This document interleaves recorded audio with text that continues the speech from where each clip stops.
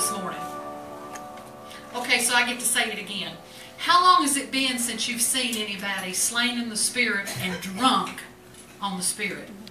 How long has it been? Have you seen it recently? they shook their head no. Dennis, stand up. Last night, Dennis, my brother's preaching revival here in town, and we all went over last night, and he had a big healing service and healing line. Dennis came through the line and he started shaking, and I thought, boy, he's going to get something. And he fell out in the spirit in the aisle, and she had to drive home. He was so drunk he couldn't drive. That's wonderful. Yes, praise the Lord. Yes, praise the Lord. Hallelujah. Uh, eh, evidently, that's what it looked like on the day of Pentecost, to the extent they were accused of being drunk. Uh-huh.